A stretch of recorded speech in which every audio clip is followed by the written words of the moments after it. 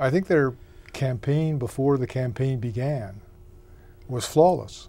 Uh, I mean, they took uh, Adrian Dix, who I think is a very uh, impressive person, but not a natural politician, and they really uh, marketed him extremely well, particularly to the press gallery.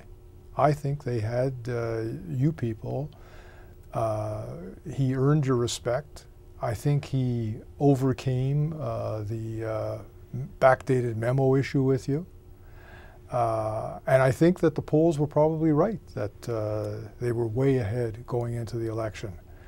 But I think what, uh, what we all forgot is that most people don't pay attention to politics like reporters and journalists do. They're exposed to a campaign basically from the debate to the end. And they're the ones who determine an election outcome. And in the final analysis, the election was not all that different from elections that we've known for 30, 40 years in this province. It could have been a Bennett versus NDP election. Mm. It gravitated around the same themes, mm. essentially, in the end.